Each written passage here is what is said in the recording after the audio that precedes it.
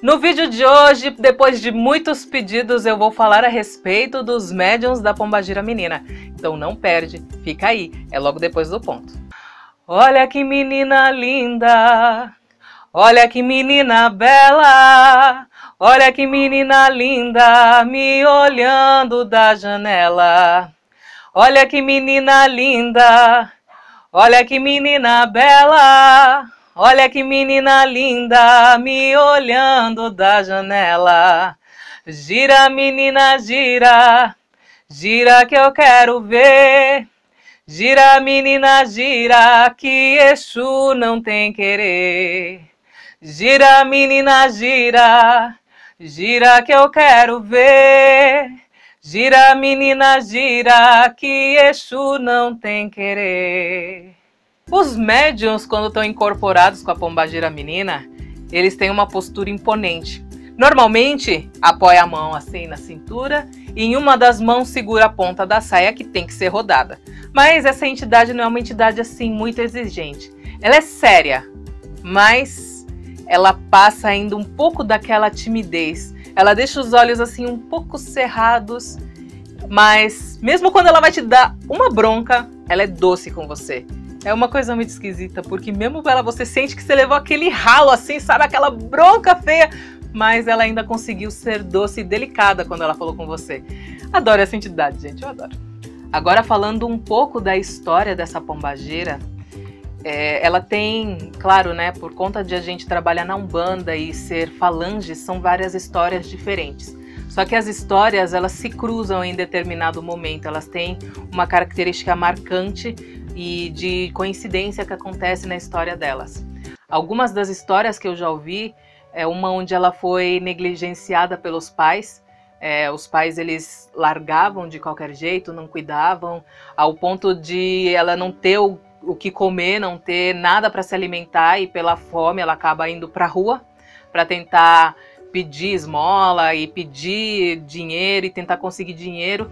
E nessa vida dura ela acaba sendo violentada. Em outras histórias que eu já ouvi dela, é que a mãe era casada com um padrasto, né, que não, não era o pai sanguíneo dessa, dessas moças que entraram para essa falange, e esse padrasto acabou abusando dela sexualmente durante o convívio em casa, então é, sempre tem essa marca do estupro nessa falange. E essa falange também é, carrega uma marca muito forte de que, por conta de toda essa violência que viveu na sociedade, no mundo e até dentro da própria família, que acabou largando tudo e indo realmente trabalhar num cabaré. Eu sei que eu já fiz vídeos aqui falando que Pombagira não é prostituta e realmente não é. Não é que assim, porque uma foi prostituta que todas são ou porque uma não foi, que todas não serão. São pessoas. Gente, assim, da mesma forma que existem mulheres que são prostitutas, existem mulheres que não são prostitutas. Isso também é no mundo espiritual. Então, algumas entidades sim podem ter sido sim prostitutas e outras não, mas a gente não generaliza aqui, ok? A gente utiliza o bom senso. E por conta dessa característica, é, eu acho que essa falange é uma falange assim muito forte, que nem os pretos velhos. Os pretos velhos eles sofreram nas mãos dos brancos e sofreram tanto que eu não sei se eu conseguiria perdoar. Eu não sei se eu teria é, essa virtude de conseguir perdoar esse, essa pessoa que me fez tanto mal. Mas eles, por serem seres tão grandiosos, eles perdoaram e ainda voltaram aqui para ajudar aqueles que tinham feito tudo isso com eles. E com a Pombagira Menina é a mesma coisa. São entidades que para mim são assim, muito, mas muito evoluídas, só por conta dessa grandiosidade delas conseguirem terem sofrido isso, que no meu ponto de vista é uma das, das coisas mais pesadas de você sofrer na sua vida, e elas ainda assim irem trabalharem nessa falange para vir aqui aconselhar, para vir aqui cuidar daqueles que podem ter sido seus abusadores, sabe? Então, assim, é uma entidade, assim, cheia de axé, cheia de luz. É uma entidade que merece muito respeito, independente dela ter sido prostituta ou não. E isso não eu não estou englobando, generalizando, tá? Pode sim haver alguma pombagira menina que não foi prostituta ou que não foi abusada. Eu tô contando aqui um pouco das histórias que eu conheço a respeito dessa entidade. Uma das coisas que eu vejo muito nessa entidade é que o ensinamento dela é o seguinte: ela não te mostra o caminho que você tem que percorrer. Ela te mostra o caminho que você não deve percorrer, quem você não quer se tornar, quem você não o que você não quer fazer. Ela nunca te mostra, olha, por esse lado é bom. Não, ela mostra assim, por esse lado aqui não é legal. Olha o que, que você vai se tornar. Por esse aqui não é legal. Ela mostra sempre dessa forma. Eu não sei por que, que ela mostra dessa forma e talvez tenha outras pombagiras meninas que mostrem de outra forma. Mas aqui no meu convívio é sempre dessa maneira. Ela mostra não quem você quer ser, mas quem você não quer ser. Aquilo que você não quer se tornar. E eu acho isso muito legal, porque cada entidade ela tem uma forma, ela tem um ensinamento. E eu vejo muito isso na Pombagira Menina. Uma coisa que eu observo também nos filhos da Pombagira Menina, filhos, gente, é forma de expressão, tá bom? Eu chamo de filhos, porque eu me considero filha da minha baiana, filha da minha preta velha, mas assim, nós somos médiums, tá? Isso é uma forma de me expressar, que eu me sinto filha, é uma forma carinhosa, ok? filhos da pombagira menina têm uma tendência a ter uma voz doce, suave, agradável, gostosa. A outra, uma das filhas que trabalhou comigo no terreiro, ela era uma das curimbas junto comigo no terreiro, tinha uma voz doce e delicada, uma voz que envolvia. É sempre uma voz que envolve, uma voz que eu chamo assim cheia de ondulações. Parece que são ondas que vêm e que envolvem e que levam a gente, sabe, de uma forma assim maravilhosa. Então, o que eu observei é que normalmente os filhos dessa entidade têm uma voz linda, ótimos para cantar. Normalmente, os, os médiums dessa pombagira também são aquelas pessoas um pouco tímidas, sabe? Aquela pessoa que não consegue manter meio que olho no olho. Se você olha muito assim no olho dela, ela já dá aquela desviada assim no olhar para não manter esse contato assim visual. São pessoas muito sorridentes, simpáticas, apesar de eu não ser dela, mas eu também sou. e são pessoas muito determinadas. Gente, é incrível.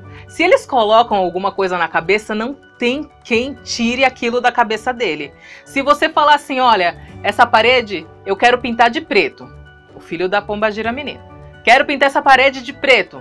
Daí outra pessoa fala assim: olha, não, não pinta essa parede de preto, porque a cor preta traz energia ruim, traz energias densas, traz espíritos malfeitores. Você vai pintar sua casa toda de preto, vai ser ruim. Ela fala assim: mas eu quero pintar de preto. Daí outra pessoa, não, não pinta não, porque isso só vai fazer mal para você. Daí ele faz, tá bom, tá, tá bom, tudo bem. No outro dia você chega na casa deles, tá o quê? Tá preta a casa. Eles eles, eles não se importam. Você pode falar, falar, falar. Eles não são de gerar atrito. Eles pegam e concordam com você, sabe? Ah, tá, tá, tá bom e mais vão e fazem o que eles querem fazer. Então, assim, é uma pessoa determinada. Se ele colocar alguma coisa na cabeça, meu filho, não tem o que você possa falar, fazer. Você pode falar que o mundo vai acabar, que não adianta, ele vai fazer. Eles têm, assim, também um ar meio sensual, sabe? Mesmo que às vezes, sei lá, não. Sabe quando aquela pessoa, assim, não é aquela beleza que chama atenção, mas você meio que sente, assim, alguma coisa, assim, você vê que tem algo, um ar, assim, de um charme, assim, que meio que chama atenção. E, assim, por mais que às vezes eles não sejam, nossa, aquele ícone de beleza, são pessoas que elas têm uma característica muito sedutora. É bem, é esquisito de explicar, gente. É difícil explicar, porque é, é uma característica assim marcante. Por mais que às vezes, um, assim, se você bater o olho numa foto, você pense assim, ah, essa pessoa não é tão bonita assim. Mas aí você olha ela perto, assim, olha ela de perto, ela tem um jeito que chama atenção, aquela coisa da timidez, assim, de não olhar no olho e tal. E ela se porta de uma maneira assim meio doce, que chama a atenção. É, é, é, mais ou menos isso. Eu espero que você tenha entendido, porque eu não sei explicar melhor que isso não. Eu, em particular, todos os médiums que eu conheci da Pombagira Menina sempre foram pessoas muito lindas, pessoas que eu sempre achei muito bonitas. E, assim, pessoas extremamente agradáveis, simpáticas, inteligentes, com um bom assunto é sempre bem introvertida, não olha no olho, mas te fala o que você precisa ouvir, sabe? É claro que eles não são que nem um filho de Ansan que fala qualquer coisa sem se importar se você vai se magoar. Não, eles moderam bastante as palavras e te falam de uma forma bem doce, delicada, aquilo que você precisa ouvir. No quesito bebida alcoólica, filho de pombagira menina é 880. É 880. Ou ele odeia ou ele adora. Então, assim, tem que tomar um pouco de cuidado para não cair um pouco aí no vício, tá? Então, se você for filho da pombagira menina, você toma um pouco de cuidado, dá uma moderada se você bebe, tá bom? Pra pelo menos prevenir. E a última observação que eu queria fazer aqui nesse vídeo, quando são médiums mulher, é, as filhas de pombagira menina, elas são são magras, sabe? Mas não é aquela magreza magérrima, assim, elas são magérrimas, não, sabe? Elas não têm tendência a ter aquela gordurinha na barriga, sabe? Que eu tenho. Eu tenho. Eu tenho.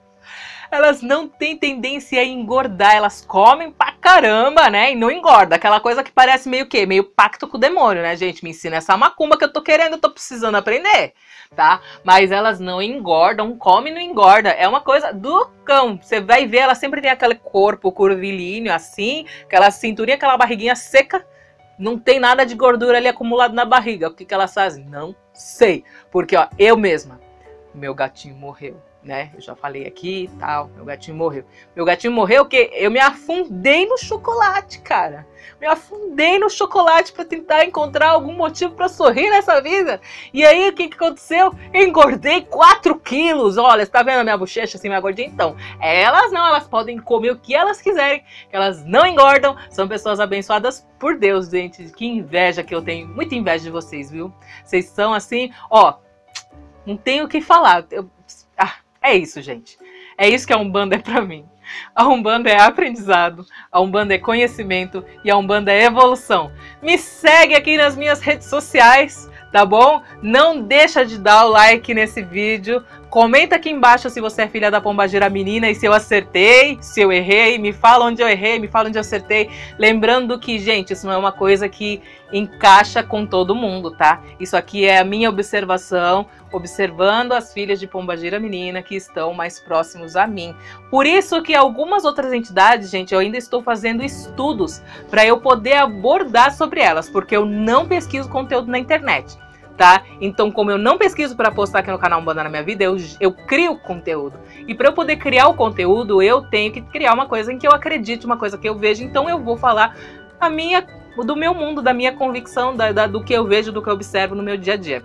Então, se você está pedindo de alguma entidade aí, muita paciência. Eu já fiz aqui uma lista de várias entidades que eu vou fazer, que eu posso fazer, né? Do Tranca-Ruas, do Capa Preta, da Dama da Noite, do seu Zé Pilintra. Eu vou fazer de várias entidades e eu vou ir lançando aqui aos poucos no canal, porque eu posto vídeos, né, duas vezes, três vezes por semana, então eu vou respeitando aí a frequência, tá bom? Então é isso. Um beijo para você. Muito obrigada por ter assistido até aqui. Vai assistir algum desses vídeos e até sexta-feira que vem. Quando são médiums, médiums.